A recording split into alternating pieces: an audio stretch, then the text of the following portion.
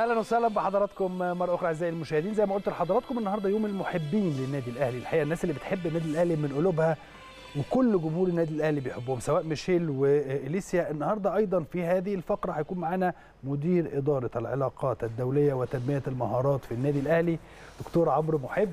دكتور عمرو زي ما قلت لحضراتكم قبل كده واحد من الناس اللي كتير جدا جدا من جمهور النادي الأهلي بيحبه وبيحبه من قلبه. لحاجات كتيرة جدا هنعرفها منه ازيك يا دكتور عمرو شرفنا. ومنورنا سعداء جدا جدا. سعيد. معانا و... ويعني كل جمهور النادي الأهلي بيحبك. الحمد لله رب العالمين وأنا بحبهم جدا طبعا.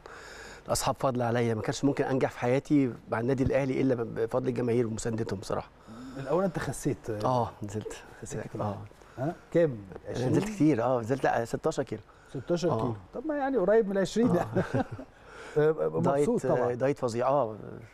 الموضوع دلوقتي. بقيت لما أجي اكل حاجة بحس بعمل حاجة غلط بقيت احاول أظبط. بقى وزني آه آه. لأن جيت فترة سبت نفسي بقيت آكل آه، أنا في الحلويات والشوكولاتات والحاجات دي زي الأطفال باكل كلنا بي- آه، بناكل بكميات وبيبسيات. وحاجات اللي آه. ظبطت بقى قننت كل حاجة وطيب نرجع لمدير إدارة ال- العلاقات الدولية وتنمية المهارات مم. إيه المنصب؟ الناس بتسأل يعني إيه مدير إدارة العلاقات الدولية وتنميه طب هو القرار متاخد من مجلس إدارة يونيو يعني 21 يونيو آه. 2021 بس طبعا ما اتفعلش بشكل كبير عشان كنت عشان مسؤولياتي مع في الترجمة مع الجهاز الفني السابق. آه، ال- العلاقات الدولية والاقطاع كرة القدم وتنمية المهارات. العلاقات الدوليه هو كل ما هو ليه علاقات مثلا أكاديميات وبروتوكولات وتعاملات وحتة الاديوكيشن حتة التعليمية الحتة الأكاديمية اللي هي الكورسات سواء لاعبين أو أفراد أجهزة أو أو أي حد في المنظومة الرياضية في قطاع كرة القدم في. حتة الرياضة. وتنمية المهارات ويمكن ده حاجة هي الهدف منها إن ال- الكادر اللي شغال في النادي الأهلي يبقى ليه شكل مختلف عن أي نادي تاني. مم. فبالتالي إحنا بنشتغل على تط- تطوير المهارات تطوير المستوى ال- ال- التعليمي والثقافي وال- وال- وال image نفسها يبقى شكل المهارات مختلف. الإدارية. إدارية وبعد كده المفروض phase 2 هيبقى نخش على اللاعبين نبدأ من الصغيرين. والله. آه. very good نعرفهم نعملهم زي زي زي زي awareness نفهمهم إزاي تشتغل إزاي تناقش عقدك إزاي إزاي تتعامل إزاي تتعامل باحترافية وأنت صغير. بنبدأ على السن الصغير عشان كده إحنا في قطاع كرة القدم كله من تحت. بنبدا من ال- من الس- من الأكاديميات والناشئين وال- لغاية الفريق. يعني ده النادي الأهلي بيعمل ش... زي مدرسة. بالظبط. مفيش لسه أول نادي في مصر يعمل ده. آه. وفي بعض الأندية طبعا بره وفي أوروبا كتير. بنلاقيه ده إن هو بيهتم إن اللعيب ده بيعرف يطلع يتكلم مع الإعلام بيعرف يتكلم في عقده بيعرف يعني وبيعرف يتعامل حتى في مواقف يعني الحتة النفسية اللي كان بيقولها ميشيل من شوية. أوكي. دي مش لازم يكون في معد نفسي بس مع الفريق. أنت بت... من هو صغير بتشتغل عليه في الحتة دي. فبتحط فيه مهارات معينة وتنمي مهاراته بشكل جيد وت... وت... وتقوم سلوكه. أعتقد إن ده اللي فرق مع محمد صلاح يا طبعا. طبعا طبعا آه. طبعا ال- طبعاً. الشخصية محمد صلاح اللي بس فرق هو. عنده هو ده يعني هو بدأ آه. في مصر طبعا بس هو عنده ده يعني هو هو استعداد مم. لأن في ناس سافرت بره ما وفقتش ما عملتش عمله محمد صلاح طيب متى سيتم تفعيل هذه الإدارة بقى هل تم بالفعل بقى؟ فعلت خلص خلاص أنا كان عندي اجتماع مع كابتن خطيب وطبعا دعم كابتن خطيب ليا من أول يوم دخلت فيه النادي الأهلي ومجلس إدارة يعني بيخلي الواحد عايز يشتغل ليل نهار أوكي. تلاقي رئيس النادي الأهلي قاعد معاك وبيشكرك على الفترة اللي اشتغلتها مع النادي وبيدعمك وبيقول لك أنا في ظهرك ويلا اشتغل وريني ومتابع معاك بشكل شخصي. حاجة فعلا تسعد وحاجة تخلي الواحد هو وكابتن حسام غالي وكل وكل اللي شغالين قائمين على كرة القدم تحس إن هم منتظرين منك فأنت عايز تشتغل. أنا بشتغل دلوقتي بعمل بلان يعني طبعا بنعمله. آه يعني بفترات يعني مرحلة أولى مرحلة ثانية مرحلة ثالثه وهنبدأ إن شاء الله نطبقهم بعد العيد. ه- هسألك عن المرحلة الأولى ولكن خلينا نطلع نشوف برضو ماذا قال جمهور النادي الأهلي عن دكتور عمرو محب ونرجع نكمل مع حضراتكم.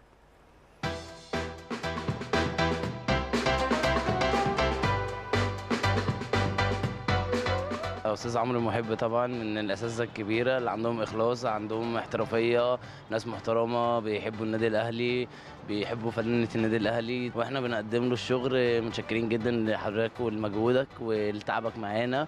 وإن شاء الله بإذن الله النادي الأهلي برضو مش هيسيب حضرتك وهيفضل في ظهرك وهيفضل وراك. وإحنا متشكرين جدا لحضرتك. الدكتور عمرو محب المترجم بتاع النادي الأهلي ده كان من الشخصيات المحترمة جدا. الراجل كان بيقول لل... للإعلام اللي هو ال- اللي يتقال واللي ما يتقالش ما كانش بي- بيقوله. راجل محب للنادي الأهلي ومخلص جدا جدا جدا.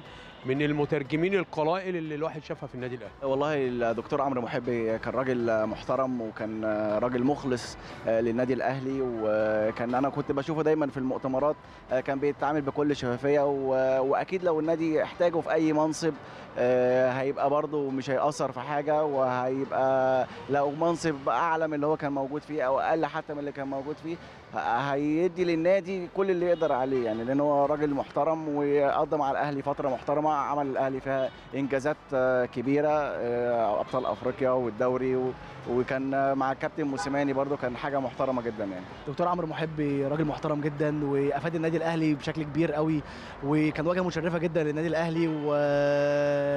وإحنا كلنا وجمهور الأهلي بنوجه له الشكر. أقول له ربنا يوفقك في عملك الجديد آه وإن شاء الله مزيد من النجاح.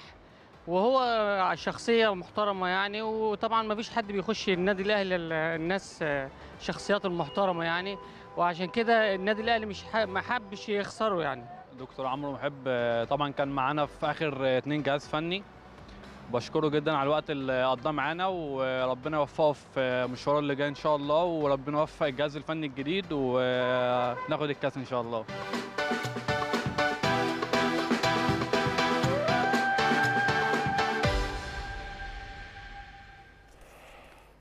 طيب ده كان كلام طبعا جمهور النادي الأهلي ورأيهم في دكتور عمرو. أعتقد يا دكتور عمرو محبة الناس دي حاجة مهمة جدا. نعمة كبيرة من عند ربنا. حضرتك بص أنا ما أعرفش حاجة طبعا أكيد عارف أنا كنت شغال اشتغلت في الفيفا فترة طويلة وما زلت مشرف على دبلومه الإدارة الرياضية. آه. اللي أنا شفته من الحب في شغلي مع النادي الأهلي نسني أي حاجة تانية كنت بعملها. أوكي. وتغنيني عن أي حاجة كنت اعملها يعني, يعني فعلا لو اتقارنت إن أشتغل خيروني أشتغل في الأهلي أو في أي حتة تاني مش هفكر في النادي الأهلي. على طول على طول هختار النادي الأهلي لأن اللي شفته والحب وجو العيلة اللي حسيته جوه النادي الأهلي وحب الجماهير ده شعور جميل. أنت تشتغل وببلاش. تشتغل وتبقى أنت سعيد إنك تبقى موجود تنتمي لأسرة النادي الأهلي. دكتور عمرو بما إنك جبت سيرة دبلومة الفيفا أعتقد إن أنت من ضمن عملك كمدير إدارة ال ال ال العلاقات الدولية وتنمية المهارات إن أنت تغير من شكل الكادر الأهلاوي. خلال الفترة ما هو ده اللي قلت حضرتك عليه تنمية المهارات تنمية آه. المهارات يعني أنا يعني عشان في نفس الوقت شغلي مع الفيفا أنا مسؤول دبلومة إدارة رياضية في مصر OK. اللي بتقام في جامعة القاهرة بالتعاون مع الفيفا ومع المركز الدولي للدراسات الرياضية في سويسرا. فإحنا يمكن إن إحنا بنعمل زي بنتكلم معاهم في النادي عشان إحنا كل سنة بنبعت ناس في كذا حد انساني كان كان مدير النادي الأهلي وكل سنة في شخصين ثلاثة أو كادر أو كادرين من النادي مدير فرع الجزيرة أيوه. فرع الجزيرة. أستاذ باشمهندس خالد. خالد مرسي خالد مرسي. وفي أكتر من ومش في كرة القدم بس في قطاعات مختلفة. أعتقد في حد من الباسكت برضه موجود و والنادي الأهلي من أكتر الأندية اللي بتستثمر في في الكوادر بتاعتها يعني من أكتر الأندية المصرية اللي, كل سنة بنلاقي في واحد أو اثنين من النادي الأهلي بينضموا لدبلومة الفيفا وبيدرسوا وبيحققوا نتيجه كويسة. ده من ضمن ال من ضمن ال plan طبعا ده من ال plan اللي حضرتك حاططها. طيب عمرو محب بقى تقييمه لنفسه إيه خلال الفترة اللي فاتت أو سنينك مع النادي الأهلي؟ من أول كارتيرون أنا ما أتذكر. هو بدأ كارتيرون. بعد كده مشيت كان خم... تقريبا خمس شهور أو كده اللي سارتي جه بعد كده رجعت تاني مع فايلر بعد كده مع موسيماني و... يعني هي والله هو ثلاث فترات كل فترة ليها ليها ليها شكل مختلف أو ليها إحساس مختلف. بس في الآخر نفس نفس نفس السعادة أو نفس الإنجاز اللي الواحد كان بيحققه يعني. هو يمكن كارتون كانت فترة أصعب شوية في الأول شوية آه. لأن إحنا وصلنا النهائي وما حققناش حاجة وتقريبا ما حققش حاجة والوقت ما كانش معاه ولا يعني كان الظروف كلها ضده وقتها. فمشيت أول مرة وكانت ذكريات مش أحسن حاجة بس طبعا فكرة إني موجود في النادي الأهلي. وبعد ما مشيت النادي الأهلي حسيت يعني إيه عيلة النادي الأهلي؟ لما لقيت اللعيبة بتكلمني في كل مناسبة وعلى تواصل دائم. يعني لعيبة النادي الأهلي فضلت وال وال والإداريين يعني. كابتن سامي قمصان. كابتن سامي قمصان ده أخ عزيز جدا. كابتن سامي قمصان أنا يمكن على المستوى الشخصي حتى من الناس المؤثرين وليه دور كبير جدا جدا في نجاحي وفي نجاح أي حد بيشتغل جنبه. أي حد بيشتغل في الجهاز الفني أو الإداري. في النادي الأهلي كابتن سامي قمصان بيلعب دور في نجاحه لأن هو على المستوى المهني وعلى المستوى الإنساني كمان شخص يعني مم. إنسان رائع. فبعد ما مشيت من كارترون لقيت التواصل مع الناس ومع حسيت إن أنا ما مشيتش. بالعكس إن أنا حتى ما انساش الخمسة صفر بتوع سان داونز أنا عشت كأني كنت موجود في النادي الأهلي بالظبط. أنا قعدت يومين مش عايز أقابل حد ومش عايز أخرج عايش الأجواء كأني موجود في النادي. حسيت إني ما خرجتش. حسيت بس إني بطلت الترجمة. فما رجع طلبوني عشان فايلر. أنا موجود already أنا حاسس إن أنا ما- مشيتش. مفيش حاجة حصلت يعني. آه بس الفضل كنت فيه شغل طبعا فاعتذرت عنه من غير ما أفكر على طول. و... وحتى كان بداية فايلر فوق هيتكلم إنجليزي بعد كده مرة واحدة قال عايز أتكلم فرنساوي. وأنا بتكلم ده وده فما كانش مشكلة. وما جه موسيماني كان نفس الموضوع. وموسيماني طبعا كانت الفترة ال- الأصعب والفترة الأحلى من حي... من حيث الإنجازات. طبعا. أنا حققت كأس أفريقيا ما كنتش بتحققه بقالك فترة. آه، لا تسعة وثلاثه واثنين ورا. بعض يعني والتالت. ده. واثنين آه، super cup أفريقي سوبر أفريقي. وتروح كأس العالم. و... وترجع بميدالية مرتين. يعني فعلا ذكريات يعني فعلا فعلا ذكريات حاجات هحكيها لاولادي ولاحفادي ما كانش ممكن أعيشها غير لو كنت اشتغلت مع الاهلي دكتور وإحنا بنتكلم عن المديرين الفنيين الثلاثه اللي حضرتك عاشرتهم آه آم، معروف إن دايما ال- ال- الدكتور عمرو بيبقى الصندوق الأسود آه. لكل شيء وطبعا أنا عارف إن ده آه. هيبقى غير مسموح إن إحنا نتكلم في هذه الأمور لأشياء كتيرة جدا ولكن في النهاية كارتيرون كانت له ظروفه وفايلر له ظروفه موسيماني. وموسيماني له ظروفه الفرق ما بين الثلاثه من وجهة نظرك من الناحية الشخصية مش هقول لك الفنية وأنا هقول زي ميشيل ما قال من شوية أنا كنت بترجم له يعني. قال؟ صعب أقارن يعني خلاص امشي بقى. صعب تقارن يعني أشخاص ببعضها. كل واحد ليه ال- ال- النقاط ال- النقاط الإيجابية. والنقاط الضعف. بس الثلاثه الثلاثه كانوا لايقين على النادي الأهلي. يعني في بعض المدربين في مدربين تحس إنه ما يليقش على النادي الأهلي. يعني ثلاثة عندهم جوع وعندهم نفسهم مفتوح عايزين يحققوا إنجازات. كارتون اشتغل في ظروف صعبة جدا. اينما هو ما حققش إنجازات كبيرة بس الراجل خد فرقة كانت آخر جدول الدوري بعد ماتشين من دوري المجموعات. تصدر بيها المجموعة في اخر في أربع ماتشات وكسب الترجي في الترجي وعمل إنجازات ووصل النهائي والظروف اللي حصلت وما وفقش. آه فايلر جه طبعا كان في علامات استفهام كتيرة والناس كانت بتشكك فيه رد في الملعب وعمل إنجازات وعمل شكل وشخصيه للنادي الأهلي. و... و... وعملنا record تقريبا 14 ماتش ما بنخسرش ورا بعض بنكسب فوز مستمر و... وعمل شكل وهوية وش... يعني شخصية في في الملعب اللعيبة. آه وصل بينا النص نصف النهائي وجه ما حصل موضوع الكورونا وسافر. لما جه جه موسيماني يمكن هو جه في الظروف الأصعب. يعني كان مطالب طبعا هيلعب مع الوداد وكل الوداد اسمه كبير. كمان آه. ذهاب وعودة وكان آه، كورونا وكان لعيبة مش متجمعة لمدة فترة وكان في ظروف كتيرة.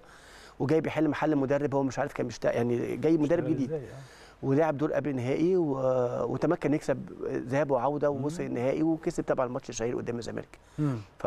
وبعد كده نكمل موسيماني تحديدا كان بيتعرض لانتقادات دايمة من أول. ما بدأ من أول يوم بدأ فيه ما تعرفش ليه من أول يوم بدأ فيه لغاية آخر يوم والله أنا عشت مع إنهم كلهم يمكن حالات فاكين موسيماني عشان هو آخر واحد بس مع فايلر كان في نفس الانتقادات آه، بس كان في نفس. الانتقادات صح ولكن لما مم. مثلا فايلر عمل ماتش قدام الزمالك وكسب السوبر آه، آه، اتكلموا عن فايلر كويس لكن موسيماني تحديدا يكسب الزمالك 5 خسر لما 3 خسر من الزمالك برضو انتقدوه. النقطة خسر هي طبيعي. النتائج كرة القدم نتائج والجمهور بي- بيغير على فرقته وعايز. يحقق نتائج أول ما بتحقق نتيجة مش على هوا الجماهير طبعا تخسر أو تتعادل يعني أنت ما عندكش سبب إن تخلي الاعلامي يتكلم بشكل غير جيد عن موسيماني لا، لأنه لا، مش هو موسيماني كان بيكسب الزمالك مثلا 5 3 آه وكان يطلع يقول لك يعني ده هو كان ممكن يكسب أكتر هو هو موسيماني من كتر نجاحه مع الفرقة على سقف طموحات الفريق يعني النهارده. أنت يعني موسيماني قبل ما يمشي بيقول لك إحنا بننافس على كأس العالم يعني كان آه، عمل. تصريح بننافس على كاس. العالم. إحنا كل مش كل مرة هناخد برونز إحنا المرة الجاية عايزين نلعب نهائي.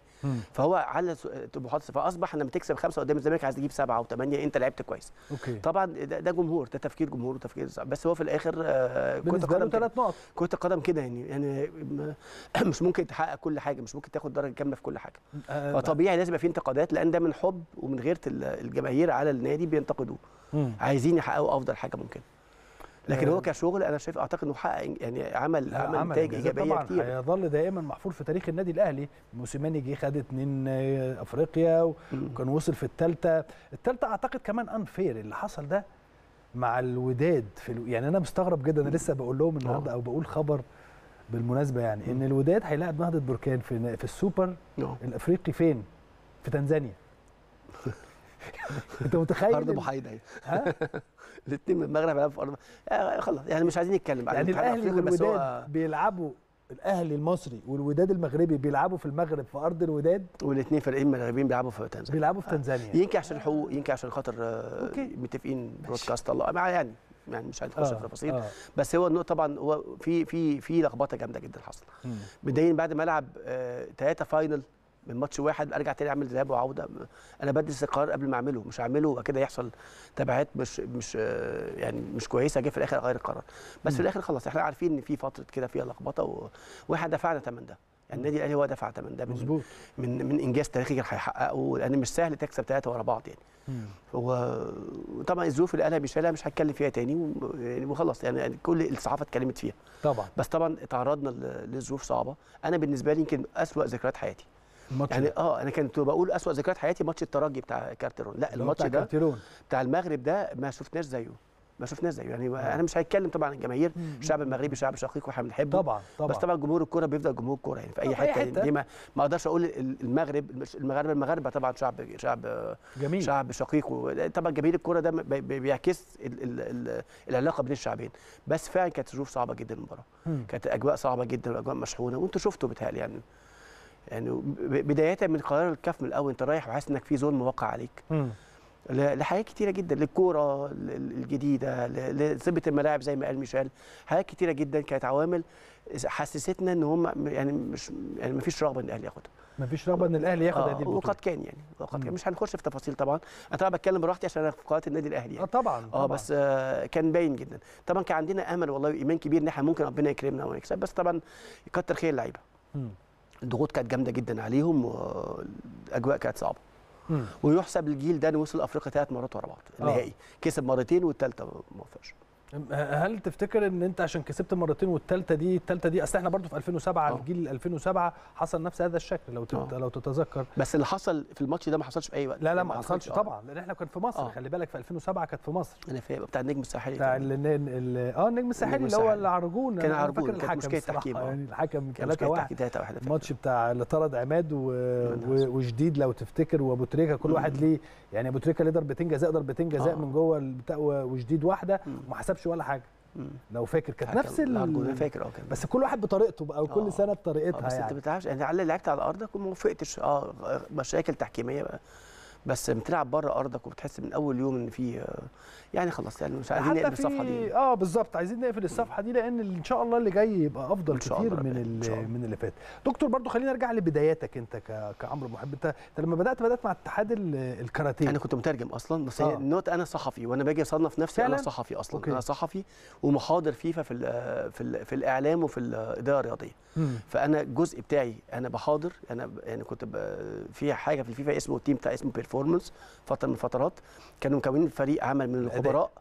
بتطلع الاتحادات بتروح الاتحادات آه، على حسب طلبهم يعني بتروح بتعيد هيكلة الاتحاد وبت- بت- وبتديهم محاضرات في كل آه، في ال marketing في كل حاجة okay. تسويق أنا كان دوري بشتغل على الإعلام وعلى الإدارة مم. كنا بنطلع ورحنا دول كتير رحنا مدغشقر ورحنا إثيوبيا ورحنا آه، لفينا كتير رحنا جنوب أفريقيا فترة ورحنا رواندا لفينا كتير مم. بس هي النقطة إن شغلي أنا ك ك مش بس آه، آه، كمحاضر أنا شغل development بشتغل شغل تطوير أنا بعمل plan إزاي بقدر إزاي بنعمل زي خريطه طريق للاتحاد أو للنادي إزاي يطلع من النقطة اللي هو فيها من نقطة A يوصل لنقطة B من خلال معطيات معينة ينفذها مم. فيعني ده بيعتبر يعني لجنة الخبراء بتوع وقت مكتب الفيفا لما جه المكتب اتنقل من القاهرة وأنا كنت سبته قبلها آه، أنا مستمر كمحاضر في الاتحاد الدولي في الإعلام وفي الإدارة الرياضية بس مع كوني مسؤول عن دبلومة الإدارة الرياضية اللي مسؤول عنها من 2007 في مصر مم. وتم إطلاقها في 2008 يعني اتفاق عليها في 2007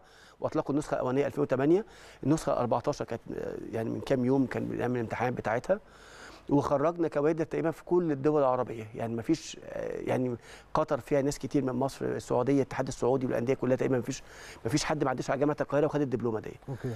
ف وطبعا النادي الأهلي فيه ناس كتير جدا. يعني بدءا من دكتور رانيا علواني أمير توفيق آه، كابتن زكريا ناصف آه، مش عايز حد ناس كتير جدا. و... وأخيرا في الدفعة الأخيرة كابتن سعد سمير.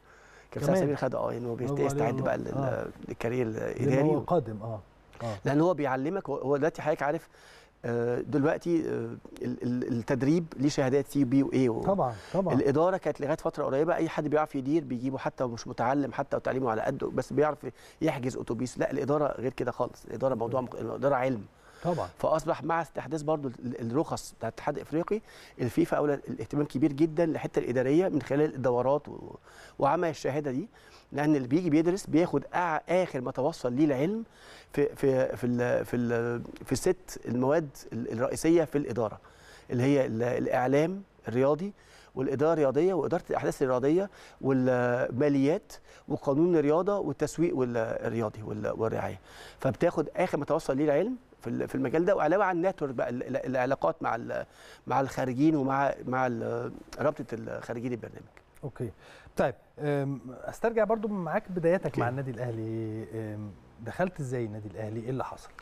والله آه، هي يعني كانت صدفة غريبة. أول حاجة كنت في المنتخب زمان كنت مع جيرار جيلي كنت بترجم فرنساوي آه. أعتقد ما فيش حد يترجم كنت أول واحد يترجم آه، مع المنتخب فرنساوي ما كانش في مترجم فرنساوي قبل كده آه وكانت يعني كانت من فتره كنت موجود وعملت ال- والفترة ما كانتش طويلة كان حوالي أربع شهور حاجة زي كده. يعني هو راح ما وفقش هو كان ماتشين وديين كده وطلعنا بطولة أفريقيا كان لسه كابتن جوهري واخد آه، بطولة أفريقيا قبلها وكنا خسرنا الماتش الشهير بتاع كأس القارات بتاع السعودية ده okay فتم آه، يعني إقالة الجهاز وجابوا جا- جيلي ده مدرب فرنساوي. وده كان حارس مرمى بالمناسبة يعني. آه واشتغلنا اشتغلنا حوالي ثلاث أربع شهور وكان الجهاز المعاون كان فيه كابتن أنور سلامة وكابتن محمود الخواجة وكان كابتن أنور سلامة يعني اعتذر كان في مشاكل كتير في الجهاز وكان فترة صعبة جدا يعني هي ذكرى كانت كلها مشاكل. كان كان لواء دشويه حرب كان هو رئيس الاتحاد أوكي. آه هو المترجم دايما بيبقى عنده كل حاجة. لا كانت ذكرى وحشة. أصل أنت داخل في مشاكل. لا من أول يوم دخلت. مشاكل. أنت بتاخد ما بتعملش حاجة إنك بتترجم مشاكل الناس بتتخانق مع بعض. ودورك إنك تهدي. وأنت أنت مش طرف آه، للموضوع مش عارف تعمل إيه. آه يعني آه، آه، فكرة وبرده في نقطة عايزين نتكلم فيها اتفضل. إن مش كل حد بيتكلم لغة يقدر يجيد ترجمة ل- برافو عليك. أنت حضرتك عارف دلوقتي مؤ- مؤخرا دلوقتي بيعملوا حاجة زي دراسة معينة. المترجم الرياضي مش أي حد يجي بيعرف مثلا آه، فرنساوي يخش يترجم. لأن صح. أنت أنت بتعرف تتكلم فرنساوي مش فاهم كورة. ما أي واحد بيتكلم عربي ممكن ما يفهمش صحيح، كوره يعني صحيح. فدلوقتي بدأوا يشتغلوا على الحتة دي بره يعني بدأوا يقولوا اهتمام إن الراجل يبقى فاهم وفاهم إزاي يتعامل مع الصحفيين وعارف إزاي يتعامل مع المدرب. ومع اللاعبين بدأ يبقى في في في ليها دراسة معينة. فأنا كانت الفترة دي كان خلصت وخلصنا الفترة دي كان فيها كابتن محمد يوسف في المنتخب وكابتن عبد الحفيظ كان لسه صغير وأنا حتى بفكره آه، آه بقول لك كان آه، لسه كان لسه من. الناشئين في في الفريق. جورال جيلي كان أواخر التس- أم، 99 آه، 2000 98 99 99 آه, آه 2000 أنا بقول لك أواخر التسعينات. فكابتن سيد كان لسه جديد كان لسه كان لسه منتخب من منتخب جديد وكان. لعيب هايل. كان أنا فاكر حتى في ماتش قدام قد بوركينا فاسو كان لعيب جامد. جدا. أنت عايز تديها في داهيه لا لا كان لعيب كويس جدا فعلا. طبعا. وكابتن محمد يوسف وكابتن حازم امام وعبد الستار صبري. كابتن عبد الستار صبري عبد الستار صبري بيعمل دبلومه الفيفا برضه السنة دي عملها كابتن عبد الستار. آه. أو أو سأل عليها سأل عليها عايز يعملها حاجة كده. آه آه. هو عبد كابتن عبد الزهر سأل عملها السنة دي. okay. المهم آه فكابتن محمد يوسف عرفته وخلاص الموضوع انتهى اتعرفنا على بعض والموضوع انتهى وأنا بقى آه، استميت في حياتي واشتغلت في الفيفا فوجئت آه، بيكلمني في مرة في آه، في 2018 لقيت تليفون كده رقم شيك كده بيطلب. برد. أيوه يا عم أنا محمد يوسف. كانوا جابوا آه، آه، كارتيرون وأعتقد كان جابوا مترجم فرنساوي وما وافقش معاه. ما كانش عارف يترجم وطلب طلب إنه يمشي. فكلمني كان بعد ما خلص فترة الإعداد وكل حاجة كان كانوا مسافرين. وكلمني كابتن محمد يوسف أي عايزك تيجي تنضم وتيجي تترجم. طبعا أنا ما كنتش متخيل خالص أرجع تاني يعني في آه، الفيفا آه. فأنا جيت قلت له حضرتك عارف أنا بعمل إيه دلوقتي؟ يعني أنا أنا في حاجة تانية. قال لي بس تعالى نتكلم مع بعض. وقعدت معاه. وقلت له كنت أقول له هجرب هشوف أنا هشوف الدنيا ماشية خلاص إزاي اللي بيخش العيلة ما بيعرفش يطلع أول يوم والله أول يوم أول آه، يوم قعدت آه، بس. وشفت الأجواء بقيت مش عايز أمشي آه. حبيت الموضوع يعني ال- ال- ال- الأجواء وال- والشغل طبعا كان إزاي بقى ترجع تاني مترجم بعد ما كنت إزاي تنظم حياتك بره وتعتذر عن شغل كنت بتعمله وازاي. ترتب حياتك. وشغل الخاص إزاي أجيب حد يتولاه يعني عندي برضو مكتبي وشغلي خاص وبدأت معاه و... و... وكانت حياة عشق بقى يعني بعد كده ب- يعني بقيت أعشق حاجة اسمها النادي الأهلي وب... ب... ب... ب... بال- باللعيبة بالاجواء بقيت أحب حتى أخلص وأقعد آه. يعني خلاص بقيت حضرتك عارف حضرتك كنت في الأهلي وعارف طبعا. بعد كده جه بعد ما خسرنا النهائي وخسرنا النهائي بتو... ال... كان الوصل الاماراتي خسر في بطولة عربية وتم إقالة الجهاز آه، قعدت معاهم شوية أنا كنت عشان أنا برضو بحب حتة الاداره وما أنا متخصص في الاداره كابتن محمد يوسف بقى يديني tasks إدارية بقى يعني مهام إدارية مع شغلي. okay. يعني آه، أنا بعمل تغيير أنا حاجات إدارية بعملها تعامل أنا برضو أنا علاقاتي كويسة أنا جزء حكاية العلاقات الدولية دي إن أنا علاقاتي كويسة بال... بالفيفا والكاف طبعا من. خلال شغلي. فكنت بشتغل في ده وبعد كده بعد ما مشي كارتيرون كملت أسبوعين ثلاثة لغاية ما جه لاسارتي بتعرف اسباني ما أعرفش خالص ما أعرفش خالص. خلاص مشيت وخلاص الموضوع انتهى وقلت خلاص يعني حاجة عملتها مش هتتكرر تاني. قلت مش هيجي بقى حد فرنساوي تاني خلاص. ما بعد بعد الموضوع ال- ال- فترة ال- الماتش وأفريقيا وال- والإخفاق اللي حصل والدوري وخلص ولاسارتي مشي.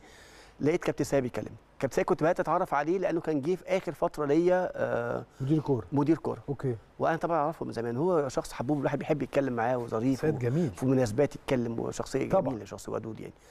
فكلمني. ها يا عمرو جاهز؟ قلت له أنا رجعت شغلي تاني وبتاع. فقال لي الاهلي قلت له لا طبعا ما فيش جاي على ما فيش طول. كلام. أنا جاي على طول. بيتكلم إيه؟ قال تقريبا بيتكلم إنجليزي. قلت له أوكي مفيش مشكلة. جيت قعدت اتكلمت معاه لقيته بيتكلم إنجليزي وكان بيتكلم على زميله فرنساوي وبتاع فرنساوي. قال لي أنا أنا عارف ما عندكوش حد بيتكلم فرنسي قلت له لا أنا بتكلم فرنساوي. قال طب هاي نتكلم فرنساوي. وبدأنا المؤتمر وبدأنا ندخل طبعا أجواء مختلفة وموضوع مختلف وب- وبعد ما كنت بترجم لواحد بقيت أترجم لثلاثه لأن جاي آه فريق لا وهو. فايلر كمان دكتور عمرو يعني أنا كمان اتعاملت معاه في وجودك يعني لو تفتكر آه. إحنا آه ففايلر شخصية أوروبية واقفة يعني مش عارف أشرحها إزاي بس هو هو مش مش شخصية واقفة لأ هو شخصية هو ده جد يعني هو أنا اشتغلت في زيورخ آه. آه. آه زيورخ كده هم كده هو آه، شخصية اللي هو يعني- السويسي الألماني اللي هو يعني آه أنا بقول كنت ساعتها يعني بطلب من الدكتور عمرو إن إحنا نعمل معاه لقاء ف وكان دكتور عمرو بيكلمه وإحنا على التليفون يعني معايا لو فاكر آه. ده آه. فطب يقول لي لا هم 10 دقائق ثلاث أسئلة. أقول له طب ما فيش حاجة اسمها كده ده. ده ده جاي قناة الأهلي فما فيش حاجة اسمها كده. أقول له هم لا لا ثلاث دقائق لو فاكر. آه. فعشان كده أنا بقول إن هو راجل يعني سويسري أو هو ب- هو بس هو هو في التعامل مع الإعلام هو كان بيريحني كتير قوي في موضوع التعامل مع الإعلام هو كان هو بيخلص. نفسه يعني هو يعني هو مش محتاج حد ي- آه. لأن طبعا أنا برضو النقطة اللي يهمني أشرحها في في اتفضل، اتفضل، حضرتك فيه مشاهدة كبيرة. طبعا اتفضل. في بعض الناس كانت بتلوم تقول الم- المترجم مترجم دوره يترجم بس ليه كان مع عمرو بيطلع مع موسيماني؟ كان لا أنا مش مترجم بترجم بس. أول حاجة غير إن أنا مسؤول في النادي أنا بشتغل في النادي أنا عندي تعليمات من من من جهاز الكورة ومن مدير الكورة. أنا موظف في النادي الأهلي أنا بترجم لم- لموسيماني بس أنا شغال في النادي الأهلي ويهمني مصلحة النادي الأهلي وبيجي لي تعليمات من النادي الأهلي.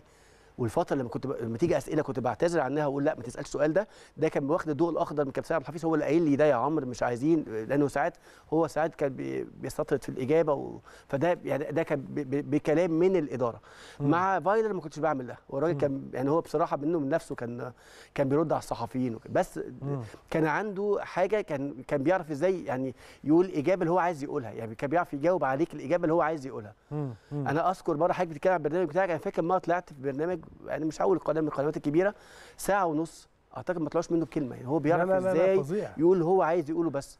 يعني هو بيعرف إزاي كان own معاه. سبورت أنا على ما أتذكر يعني آه. آه مش عارف الحلقة آه لا الحلقة دي كانت آه، كان كابتن شوبير وسيف آه، وكابتن سيف وهو- بوجه ويقول لك لا مش عايز أجاوب. طالع لا مش عايز أجاوب على السؤال. لا ده. وبعدين إيه؟ ما هو أنا مش هجاوب على ده. آه. مش. همه بقى هوا مش آه هوا لا لا لا. آه. آه فهو كان صارم جدا آه. وحتى كده مع مع الناس يعني هو دي شخصيته. عكس موسيماني مثلا. بس أنا أحب التعامل مع الشخصية دي. يعني أنا okay. اشتغلت مع بشتغل مع الفيفا وكده فأنا أحب النوع ده. ده ظريف ده ما عندوش آه، لف ودوران ده يكون متضايق منك متضايق منك. okay. يكون كويس كويس. لا بالظبط. آه. آه. فده التعامل ده بيبقى مريح جدا بتتعامل مع شخصيات كده. معاك أنت بس أعتقد إن كان مع اللعيبة صعب برضه. هو لا يعني لا هو- كل مدرب بص أي لعيب في الدنيا ما بيلعبش مش هيحب المدرب وبيلعب ده طبيعي. بس عايز أقول لك حاجة أنت عارف أيام جوزيه. في ناس كتيرة ما كانتش بتلعب. بس كانت بتحب جوزيه وما زالت. يعني أنا واحد من الناس أنا مشيت من النادي الأهلي بسبب مانويل جوزيه. وبكلمه كل أسبوعين ثلاثة مرة مثلا لغاية دلوقتي. آه دي يمكن لا طبعا مانويل جوزيه ده ظاهرة. ده ده آه، ده, ده حاجة. لوحدها ده آه. ده ظاهرة ده حاجة لوحده يعني. مم. لكن أي مدرب طبيعي في الدنيا أي حد بيلعب معاه بيبقى مبسوط منه أي حد ما بيلعبش بيلعبش. يمكن مقارنة أي حد من الثلاثه اللي حضرتك اشتغلت معاهم مع مانويل ولا لا صعب؟ أنا ما اشتغلتش مع ما أقدرش أقول ما حاجة كده. تقدرش آه بس طبعا أنا يعني أنا شفته بيشتغل إزاي وأنا عارف إن طبعا بيتكلموا عنه ويكفي إن حتى موسيماني بيقول لك ده أسطورة أنا بتعلم منه آه، آه. طبعا هو دي دي حتة معينة لا ما وفايلر. كان عكس موسيماني برضه في ال في ال في ال في الإعلام يعني فايلر آه sorry موسيماني كان بيحب يطلع بيحب ويتكلم وي آه. وي- ولو ينتقد ويقول لك لأ ولو أنت يقول لك انت legend يعني آه، كان بيحب عكس آه، كان عكس فايلر خالص. فايلر بيحسب كل حاجة. آه. لا موسيماني طبعا شخصية رائعة يعني على المستوى الإنساني جدا جدا. شخصية رائعة. يعني آه. أنا بشت... أنا ببقى أقرب واحد للمدربين كلهم. يعني هو من جواه إنسان وبيحب الناس وبيساعد الناس. يعني الحتة الإنسانية عنده ممتاز بس هو فعلا حتة ال... هو الكلام إزاي شوية. آه. يعني آه يعني هو حتى محاضرته كانت مشاكل في يعني آه. اللي هو أصلا يعني هو بوجه عام بيتكلم كتير. هو بيحب بس هو يعني ده جزء من شخصيته يعني. بس ده ما يمنعش إن هو عمل إنجازات كتير مع الفريق يعني هو لا لا حقق حقق لا آه، دي يعني حاجة ثابتة يعني هو حتى بقى في يعني في الكلام آه آه في يعني شكل الفريق حتى الكوره تاريخيا ال- ال- ال- الموضوع ده يعني ده وفايلر برضو عمل ده أنا برضو فايلر ب- طبعاً. بخ- ب- بخص بيه. بدليل إن الناس بعد ما موسيماني تم الاتفاق على فسخ التعاقد ما بين موسيماني والنادي آه، كانت ناس كتيرة بتطالب برجوع فايلر يعني فده معناه ان إن فايلر مؤثر بشكل آه،. جيد مع الناس بالمناسبة إيه رأيك في اختيار ريكاردو لا أنا آه، ماليش لا ده اختيار أنا راجل مش فني أنا مش بتاعتي أكيد النادي آه. الأهلي فيه ناس يعني آه. ناس أحسن مني وناس فاهمين كويس جدا وأكيد اختاروه بعناية وقعدنا فترة طويلة جدا عشان يختاروا المدرب ده مم. فعشان يختاروا المدرب ده وبعد فترة طويلة أكيد مدرب هايل آه وشفنا امبارح اهو الحمد لله ربنا كرمنا طبعا مش لسه أول مباراة بس آه، بس آه، أكيد أكيد اختيار موفق يعني أكيد يعني يعني كذا واحد اشتغل عليه كابتن حسام غالي. وكابتن امين توفيق وطبعا كابتن محمود الخطيب كان موجود معاهم وكان بيختاروا وشافوا سيفيهات و... فأكيد اختاروا كويس وخدوا وقتهم فاكيد أكيد مدرب آه، كويس الطريقة المؤسسيه مؤسسة وأكيد. مدرب كويس يعني ما كانش حي... يعني يجي مرة النادي الأهلي يعني الأهلي ما. بيجيبش أي حد. في أي حاجة يعني يعني ما بيجيبش أي حد في أي سواء لاعبين أو مدربين أو جهاز طيب هنكمل كلامنا مع دكتور عمرو لكن خلينا نطلع فاصل ونرجع بعد هذا الفاصل نكمل مع دكتور عمرو إيه أكتر حاجة بيحبها في النادي الأهلي خلال هذه؟ نطلع فاصل ونرجع نكمل أهلا وسهلا بحضراتكم آه، مره أخرى اعزائي المشاهدين دكتور عمرو في مواقف بالنسبة لي لما أجي اشوفها وبالنسبه لجمهور الاهلي برضه هنلاقيها غريبه بمعنى ان انت في احدى المباريات اعتقد. آه، خدت كارت احمر آه ما أعرفش إزاي يعني غريبه يعني بالنسبة لنا اللي يعرف شخصيه عمرو محب آه. يعني يبقى عارف ان انت ما يعني آه. بتبقى مشجع وكل حاجة بس عمرك ما هو مش كارت. هو كارت احمر هو كارت احمر بس هو كان ليه ظروف كده معينه كنا بنلعب آه، دور تماني في بطوله أفريقيا ال- من سنتين كان مع فايلر. وكان كابتن كان مع سيد فايلر، كان آه. مع فايلر آه. وكابتن آه، بين بين الشوطين الحكم كان سيء جدا. الحكم كان بوتسوانا والحكم ده يعني بالله طول. كتير في مشاكل كتير حصلت معاه. فكابتن سيد بين الشوطين راح قال له ليها ضربتين جزاء فأنا رايح عشان أترجم هو الراجل لأني جاي راح مديني إنذار فأنا أنا مش عارف إن أنا. مترجم.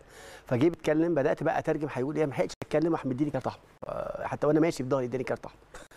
فجي بعد كده بعد ال- يعني بين ال- بعدها جه المراقب واعتذر. يعني قال معلش هو كان فاكرك آه، حد من الجهاز داخل التصوير حتى أنا نازل لازم ما عملتش حاجة خالص. أنا نازل بقى جنب لا بس إحنا عارفين. بس آه بس آه، يعني هو في مواقف كتير كده بالشكل ده بس إيه بقى تاني يا دكتور؟ يعني مش رح... اللي تقدر تقوله طبعا. لا لا ما في- هو مفيش يعني آه، طبعا هو ساعات ساعات الواحد بيبقى قاعد على الدكة وبينسى إن هو في الجهاز. يعني دي ساعات كتيرة جدا حتى في ساعات الواحد غصب عنه بي- بيتنطط وكده.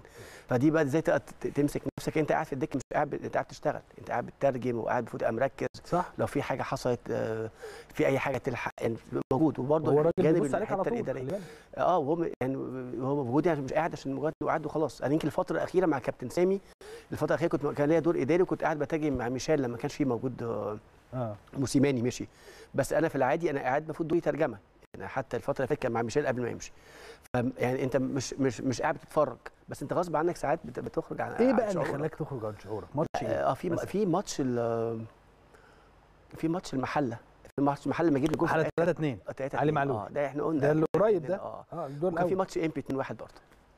أنا بعد كده شفت نفسي بعد كده بشوف التصوير أنا عملت إيه ده ده. جريت إزاي ده ما بقاش لأن دي مش شخصيتي أنا مش بس علي. فعلا ده ماتش علي ده المحلة ده آه، غريب جدا آه آه. ما دي بقى فرح أوي كان وليد سليمان واقف جنبي على الخط بيقول دي جون لا. والله. آه بعد كده كلنا وليد قال. كده فعلا آه قال دي جون دي جون هيجيبها علي هيجيبها آه. وماتش امبي قال له هنكسب آه وماتش. ماتشات كتير عمل لك comeback كتير ماتش المقاولين 2-0 وكسبنا 3 ما آه كان طاهر أول ماتش ليه جاب جون. كابتن سيد عبد الحفيظ طبعا كابتن سيد عبد الحفيظ دي دور كبير الراجل ده دينامو الراجل ده أنا بقول له أنت بتشتغل بتنام إمتى؟ آه. أعتقد ساعات بينام في النادي ما عندوش وقت.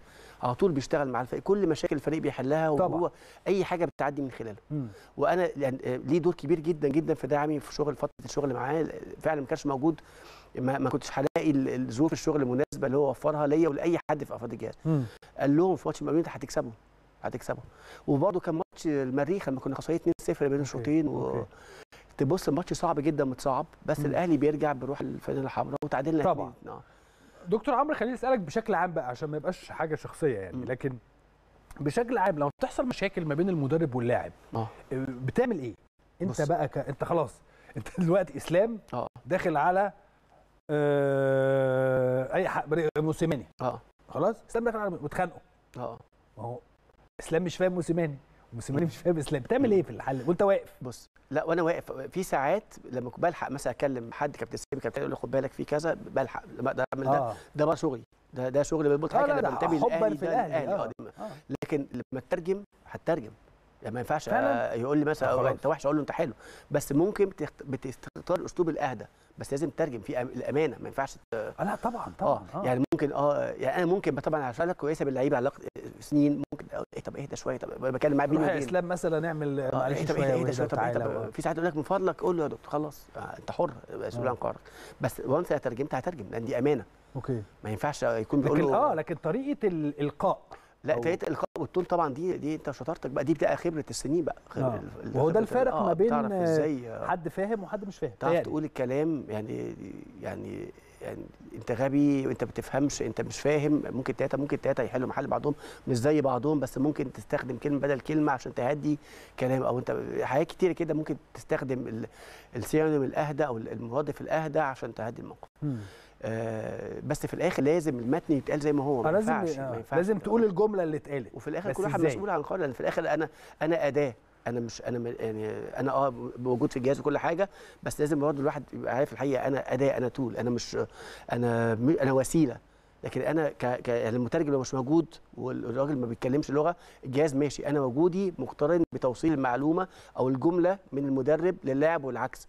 ما آه. ينفعش أحط التاتش بتاعي. ما ينفعش. معلش يا دكتور وانت بتكلمنا برضو آه. اتكلمنا عن الصور اللي قدامنا دي. طيب. ده بقى كابتن سامي أنا قلت حاجة كابتن سامي أقرب شخصية ليا. كابتن سامي وكابتن آه. سيد ودكتور وكابتن سيد طبعا ودكتور وفائي وفاء. اهو دكتور وفاء يعني آه، ليه كبير جدا مع الفريق. طبعا آه، أستاذ أحمد يوسف ده من بتوع ذوي الهمم موجودين معانا على طول في كل المباريات وبيجي آه. طلب بيتصور معايا الميدالية. دي بقى ده تعرفوا ده عمرو. معاذ ده عمرو محب آه أيام كان تخين ما شوف بقى أيوه. آه ده اعتقد ده ماتش الكاس. لما كسبنا الكاس من ضربات. الجزاء آه ما أعرفش مين صورني كده و... آه. يعني آه، بقى- أنا كنت آخر ضربة اتلعبت وصور دي دي. برضو- آه دي فرحة بقى. أنا بقى بالمناسبة كويس إن أستاذ جمال جبري ظهر آه اتفضل. إحنا عندنا منظومة إعلامية مش. طبيعية حاجة بتحسها بنطلع بره. يعني بتطلع بره زي الأندية ال- ال- الكبيرة. بتطلع معاك أسطول من الإعلاميين. آه ده مع بدر ومع كابتن شناوي طبعا. آه. دي أعتقد دي بتاعت ال- دي العالم، كأس العالم. الع- التال- كأس العالم؟ لا. لا دي؟ بتاعت ال- بتاعت ماذا آه من أفريقيا؟ دي العشرة آه. آه دي العشرة. آه. آه العشرة المغرب دي. دي العشرة المغرب ده ما مؤمن مؤمن صديقه الله. وصاحبي الله. مؤمن أعرفه من وقت كارتيرون وشخصية وراجل وجدع. وربنا يشفيه يا رب. حبيب الكل يعني الكل بيحبه. طبعا. آه، موسيماني ده مع الكاس الأخير ده برضه الكاس اللي هو ده كاس السوبر. اذكر ده في تدريبات ده مع كابتن سامي وكان اعتقد كان صلاح محسن. آه دي آه، دي بطوله أفريقيا. أنا كنت مدير إعلام في استاد القاهرة في بطوله أفريقيا 2019 أنا بقول لحضرتك أنا بصنف نفسي صحفي قبل أي حاجة. okay. وأنا كنت مدير إعلام ال venue بتاع استاد القاهرة وده كان team بتاع متطوعين. أنا برضه بالمناسبة يعني حضرتك اسمح لي أقول بالنسبة للمتطوعين اللي هم كانوا في بطوله 2019 دول آه. حضرتك يعني حاسبني على الكلام ده أعتقد في خلال 10 سنين هنلاقي ناس كتيرة جدا ماسكة مناصب رياضيه كبيرة جدا. okay. وقد بدأت يعني بدا دلوقتي في إحنا ناس شغالين. في ناس آه، عملوا بحث تخرج بتاع الدبلوم عملوا دبلومة الفيفا معانا السنة اللي فاتت وخدوا أفضل بحث على مستوى العالم. okay. آه، أستاذ عمرو عادل واستاذ آه، أحمد كارم في مجموعة كبيرة آه، حد و- ومرام ال team كله الخمسة عملوا بحث من خلال خبرتهم في العمل كمتطوعين في بطولة أفريقيا. عملوا زي system application وازاي نظام لتطوير منظومة ال ال ال ال إدارة ال- المتطوعين إزاي بتوصل المعلومة وإزاي تختارهم جدا. البحث لقى استحسان بس وخد خد ال- المركز الأول في مصر خد على مستوى العالم وتم. تكريمهم في الفيفا. okay. آه، مش كتير الاعلام اللي اتكلم عنهم بس المفروض كان بكرة عندهم ميعاد مع مع الوزير يكرمهم أشرف صبحي دكتور أشرف صبحي. آه. والناس دي مش هم بس في في ناس كتيرة جدا من من المتطوعين. أعتقد في خلال 10 سنين هيبقوا ماسكين مناصب رياضيه كبيرة. لو خدوا الفرصة. ويا ريت يا ريت نبتدي نديهم الفرصة. إحنا عندنا في النادي الأهلي خدنا مجموعة كبيرة في في, في قطاعات مختلفة من المتطوعين دول. okay. طيب بقية الصور لو معانا؟ آه دي, دي كانت بعض الصور اللي, اللي آه. انت بتعتز بيها وبتحب هذه الصور. آه طبعا طبعا, وليها ذكريات جميلة. طبعا. أو أو يعني فيها حاجة. في حاجة. هي النقطة أنا ليه اتكلمت عن الجماعة المتطوعين لأن لأن الفترة الفترة الجاية هي فترة علم. okay. ال- الرياضة أصبحت صناعة مش مجرد حد موهوب بيلعب كورة. هي موضوع بقت industry بقت صناعة. بقت آه، بقى, بقى العلم ليه دور كبير فيها. واصبح علم بيخش في كل حاجة زي ما قلت لحضرتك حتى المترجمين واختيار المترجمين دخل العلم بقى بقى الناس بتدرس مترجمين okay. الناس بتدرس عشان تبقى إداريين فالناس دي مثقفة ثقافة عالية. ومن جامعات وكليات كبيرة مم. بس مستنيين فرصه وأتمنى أتمنى وزارة الشباب والرياضة تبتدي تعتمد عليهم حتى كمتطوعين أو تديهم حتى مهام صغيرة لأن أنا. متأكد هيبقى مردود جيد جدا طيب آه، بما إن بما لك من علاقات خارجية هل تعتقد إن النادي الأهلي من الممكن إن هو يعمل توأمة مع أحد الأندية الأوروبية الكبيرة؟ يكون طب أنا مش عايز أتكلم عن الحتة دي عشان ده جزء في شغلي خليه أحسن. مش دلوقتي. هتعرفوه بعد كده. آه يعني آه. خلي آه خلي ده جزء ده بعدين. علاقة بالشغل إمتى طيب. ممكن تقول لنا؟ آه، هذا هيبان هيتعرف. يعني شاء اللي جاية. جزء من شغلي. آه. لكن لكن بتعتبر لكن طبعا في تعاون بره مع آه. مع مع, مع مؤسسات خارجية ومع أندية كبيرة.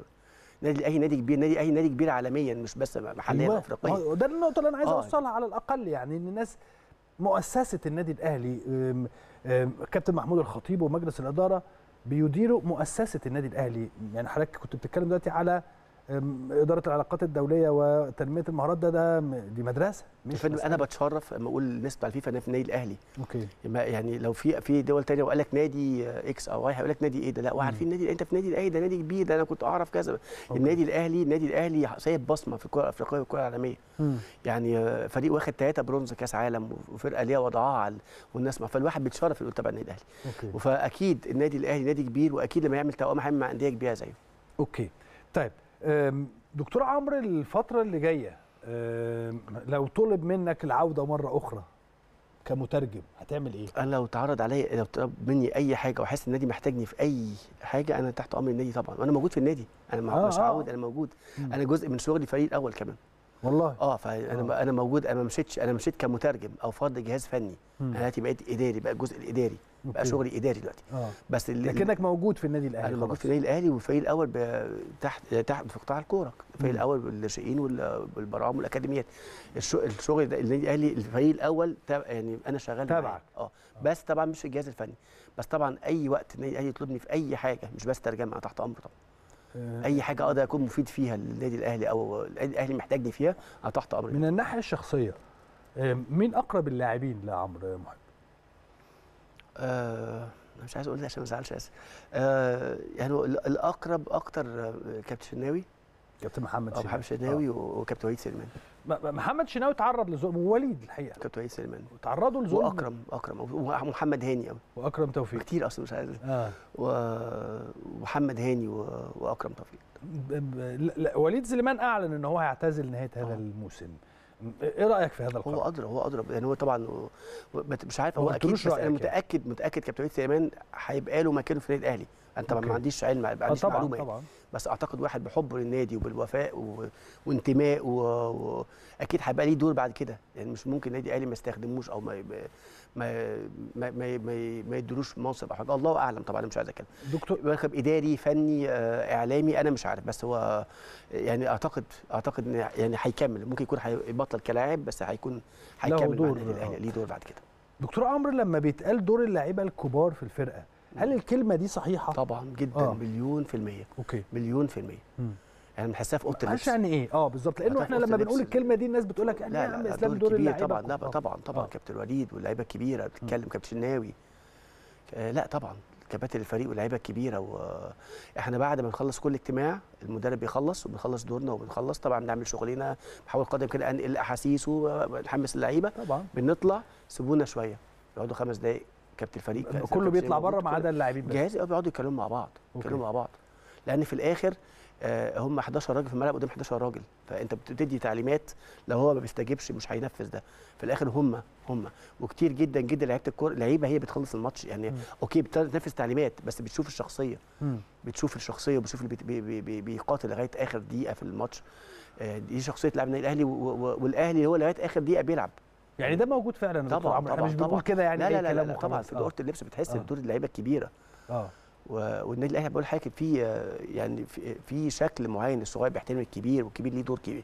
يعني ليه دور حتى ممكن تلاقي واحد متضايق تلاقي لعيب الكبير جاي بيتكلم معاه وبيحفزه. وده بتلاقي لعيبة في نفس من غير ذكر أسامي في نفس المركز. طبعا آه. تلاقي لعيب بيلعب أساسي فترة ولعيب نزل مكانه التاني بيشجعه وبيقول لك برافو عليك ويلا وإن شاء الله هتجيب النهارده وقايل كنت ممتاز. دي ما بتحصلش أعتقد في أندية كتير. مم. إن اللعيب اللي ده خد مكاني بيلعب أساسي بشجعه وما بيجيب جون بجري أول واحد عليه. مم. يعني شفنا شريف جري على على حسام حسن حسام حسن أول واحد. جري. ما أنا بقول لحضرتك الحاجات دي وده يعني- من القلب على فكرة آه. مش تمثيل. طبعا طبعا. ده من القلب. طبعا. كتير قفشة بلاقيه بيط- بيتكلم على لعيبة آه، لا لا آه، مش مش موضوع سن بس موضوع آه، عيلة عيلة. لما تشوف أخوك مثلا في حاجة في البيت بتتكلم معاه كلنا إخوات إحنا كلنا عيلة. ده بالنسبة للاعبين يعني. وكأفراد جهاز طبعا. إحنا طبعاً. الأجواء بينا. قفشة بي الجون اللي جابه يعني مش هسألك على حاجة لكن آه. الجون اللي جابه قفشة تحديدا. أم، أعتقد الجون ده آه، يعني حط قالوا إيه 27 نوفمبر لأن آه. كانت لسه قايلين ال- 35 ال- القضية ممكن يعني. آه، 27 نوفمبر. كان بالنسبة لقفشة أعتقد تغير كبير. قفشة لينا كلنا مش قفشة. أو على رأيك التاريخ بيني وبينك كلنا لينا كلنا. النادي كله. يعني دي من اللحظات زي ما قلت لحضرتك من أسوأ لحظاتي ماتش المغرب. من أحلى لحظاتي على أحلى عملت إيه يا لحظاتي. دكتور وأنت قاعد؟ بص حضرتك إحنا وقتها كان كورونا فكان ال- ال- المترجم كان بيقعد في المدرجات مع ما كنتش قاعد تحت على الدكة. وكان الماتش كان قبلها زيزو حاطط كوره في العارضة وكان قبلها أيوة صح. آه، آه، حسين ضيع كورة ما ضيعش بعيد أنا خايف. كان جنب حسين وبعدين زيزو رجع. آه حسين وزيزو خلاص آه، أنا ما حسيناش. كان قاعد جنب مني سعد سمير ورايا مصطفى شوبير. آه. ما حسيناش. نططنا بعد كده أصعب دقايق اللي هي بعد الجون دي بقى. أوكي. مين يقول يا رب يا رب يا رب قاعدين آه، وبعد كده بقى انطلقنا. شفت بقى صورتي أنا ماسك قفشة بعمل كده. في آه ما أنا ده عشان كده. بقول لك آه في آه. ده بقى مش حاسس بعد. آه. وصورة برضه مع مروان وبنحضن بعض وبتاع. طبعا كانت فرحة عارمة. آه. فرحة عارمة طبعا. لأن طبعا ده ليه ليه مذاق وليه طبعا قدام فرقة كبيرة زي نادي الزمالك وديربي يعني وديربي. افريقيا مش كل مرة يعني مش دايما بتقابل الزمالك في ال final وبتكسبه طبعا بعد فترة ست سنين ما بتكسبش بطولات آه، أفريقيا طبعا طبعا ليه غلاوة كبيرة جدا طبعا دكتور عمرو شرفت ونورت آه، آه، يعني أنا سعيد جدا بوجود حضرتك معانا. ويعني زي ما قلت لحضرتك إن النهارده كان يوم تكريمي لثلاثه بيحبهم جدا. جدا جمهور النادي الأهلي دكتور عمرو محب ميشيل يانكون إليسا يانكون أعتقد أنا بس عايز قبل ما حضرتك تاني عايز. أقول حاجة. لا طبعا. أنا يمكن ما قلتش شهادتي في ميشيل. آه. ميشيل فعلا تحس إن هو أهلاوي وتحس فعلا آه. إن هو مصري. يعني هو يمكن أنا من الناس المقربين منه. فعلا يعني هو هو فعلا بيحب الأهلي من قلبه وفعلا تحس إنه مصري وفعلا بتحس مش ده بيمثل يعني. خالص. مش آه. محتاج يمثل هو يعني. هو آه هو بتحسه لما يكون في نتيجة ايجابيه دي بيبقى فرحان لا قدر الله في تعادل أو هزيمة إزاي بيبقى حزين؟ يعني بتحسه فعلا مننا. وبتحسه فعلا ساعات بننسى إن هو أجنبي. مم. يعني هو ده لو بيتكلم مصري مش هتحس بيتكلم عربي مش هتحس إن هو أجنبي. صح. يعني فعلا هو بيحب الأهلي من, من قلبه وفعلا إحنا سعداء إن هم موجودين معانا. أخيرا يا دكتور عمرو الكاميرا معاك آه، مسج أي رسالة حضرتك عايز توصلها لجمهور النادي الأهلي لإدارة لأي حد حضرتك عايز توصل له رسالة؟ لا طبعا لو هبعت رسالة هبعت لجماهير النادي الأهلي. آه أنا بشكركم جدا على دعمكم ومساندتكم الكبيره ليا. آه يعني بصراحة أنا اللي عشته يعني خليتوني أعيش أحلى أيام عمري في خلال الترجمة. وفعلا أنا كنت يعني أنا كنت بحسد نفسي على السعادة اللي أنا فيها والمكان اللي أنا فيه أنت قاعد مع اللعيبة وقاعد مع وحب الجماهير حب الجماهير ده ما يتقلش بأي فلوس في الدنيا. مظبوط. بشكركم وفعلا أنا ما كانش ممكن أنجح من غير دعم الجماهير ويا ريت تفضلوا ورا النادي الأهلي ورا الفريق إن شاء الله لغاية لما نرجع تاني نحقق نتائج كويسة وإن شاء الله رب العالمين ال- ال- الكاس بتاعنا والكاس التاني بتاعنا والدوري بتاعنا وإن شاء الله نرجع أفريقيا ونحقق الألقاب تاني بإذن الله. يعني فريق النادي الأهلي يستاهل نقف جنبه ونسانده وهي دي فترة كابه وهتعدي إن شاء الله. وبإذن الله رب العالمين الجاي كله أفضل للفريق. دكتور عمرو شرفت ونورت وسعيد جدا جدا جدا بإن حضرتك تكون معانا على الهوا وتشرفت بمعرفة شخصية ربنا يخليك أشكرك. متشكر أستاذ شكرا جزيلا متشكر جدا سعيد جدا. أنا بشكر حضراتكم شكرا جزيلا. النهارده كانت حلقة زي ما حضراتكم شايفين على قد ما نقدر. حاولنا نعملها حلقة لتكريم من يحبهم. جمهور النادي الأهلي سواء دكتور عمرو سواء ميشيل سواء أليسيا. آه هذا الثلاثي كان له من الحب الكثير في قلوب كل جمهور النادي الأهلي. وبالتالي هم كانوا موجودين معانا النهارده واللي جاي أفضل دايما سواء مع ميشيل في قطاع الناشئين أو مع دكتور عمرو إن شاء الله في إدارته للاداره بتاعته خلال الفترة اللي جاية. فأنا إن شاء الله أنا بشكرهم جدا الحقيقة على التواجد النهارده وبشكر حضراتكم جدا على كل المسجز اللي حضراتكم بتبعتوها لي. غمرتوني أنا شخصيا كمان بكلمات رقيقة أنا لا أستحقها الحقيقة ولكن اللي يستحقوها بالفعل هو ضيوفي النهارده اللي كانوا موجودين وطريقة حبهم للنادي الأهلي من خلال الشغل. دايما الكابتن خطيب يقول هذه الكلمة. عايز تحب النادي الأهلي؟ حبه من خلال شغلك. أنا بشكر حضراتكم شكرا جزيلا. إن شاء الله ألتقي مع حضراتكم بكرة وحلقة جديدة من البيت الكبير.